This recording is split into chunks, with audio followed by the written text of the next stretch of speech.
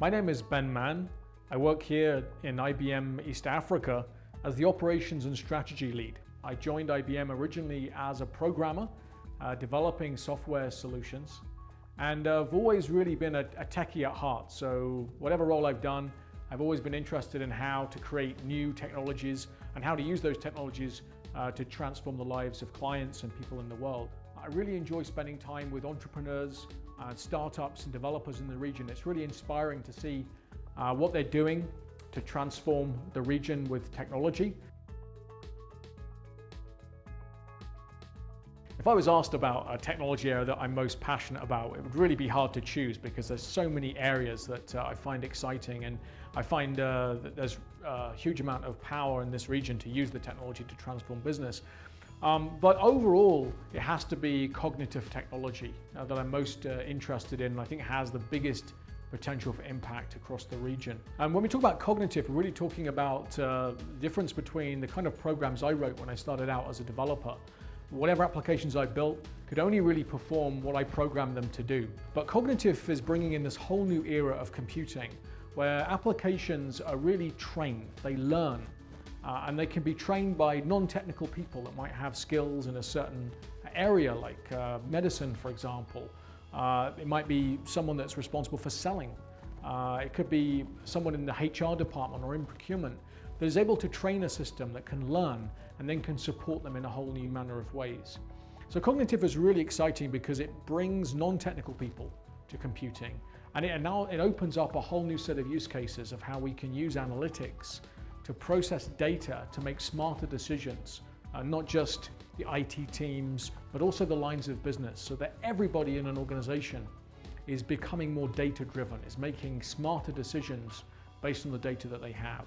Cognitive can be powered by data that might come from inside the organization, the so-called structured data that we're all very familiar with that's sitting in databases. But cognitive, uh, particularly in this region, is now being driven by data from social media um, and also from the world around us.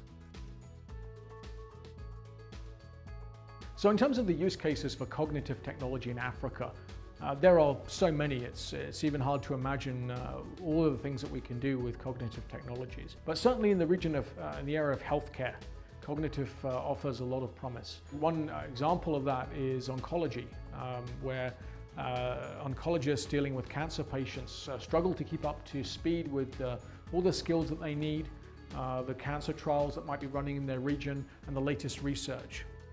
And so a cognitive system can really support that expert and extend uh, the skills that they have by keeping them up to date with the latest information. But particularly in the Africa region, uh, agricultural use cases are particularly interesting. How we can enable farmers to make smarter decisions, perhaps about what types of crops to, to grow at certain times. How to maximize the budgets that they have so that they can grow uh, the right crops and sell them at the right prices in the market. Because increasingly consumers in this region are not just interested in getting quality products, but they want to know where those products are coming from. And is it really stimulating and helping uh, farmers in, in the region as well? So with cognitive, there are huge opportunities because uh, this type of analytics is so new that uh, many uh, people in the technical community around the world are trying to adapt and learn about how they can use these new tools and how they can apply them to real world problems. And that creates a wonderful opportunity for anyone in the technical field in East Africa to leapfrog uh, their peers around the world and keep up to speed uh, with uh, these new developments. Really, cognitive and data analytics is transforming into a, an area where it's no longer sufficient to have the technical skills around data.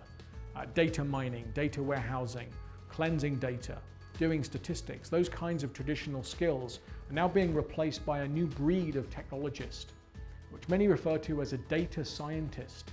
Uh, this is somebody who can uh, not just uh, resolve questions the business has about their data, but can even become a trusted advisor to the business and say to the business, actually, the question you've asked is an interesting one, but this is the question you should be asking. This is the kind of data that we should be using to get those new insights so that we can serve our clients better, so that we can deliver more value, so that we can be more competitive.